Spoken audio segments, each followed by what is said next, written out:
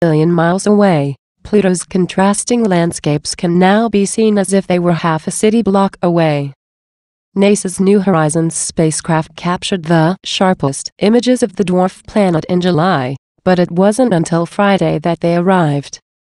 Tags NASA, SETAC, Science, Space aboard the piano-sized New Horizons is the telescopic long-range reconnaissance imager LORRI, which snapped shots of mountains, craters and other spellbinding scenes from about 10,000 miles 17,000 kilometers above Pluto's surface that people won't get a glimpse of again for many years, if ever.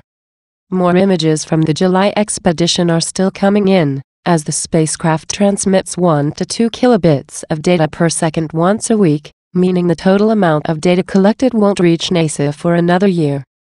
Thankfully for scientists and enthusiasts, there are enough images available now to make the wait easier. These close-up images, showing the diversity of terrain on Pluto, demonstrate the power of our robotic planetary explorers to return intriguing data to scientists back here on planet Earth, John Grunsfeld, a former astronaut and associate administrator for NASA's Science Mission Directorate, said in a NASA statement.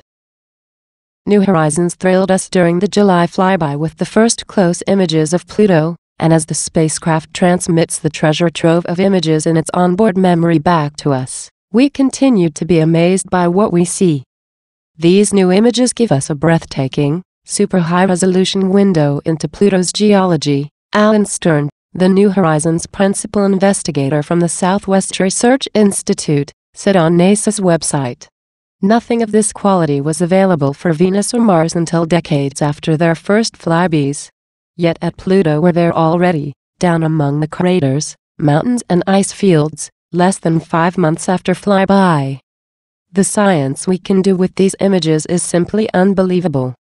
As the LORRI takes photos every three seconds, the other camera on board, the RALPH slash multispectral visual imaging camera MVIC, scans the surface, using very short exposure times to avoid blurring details.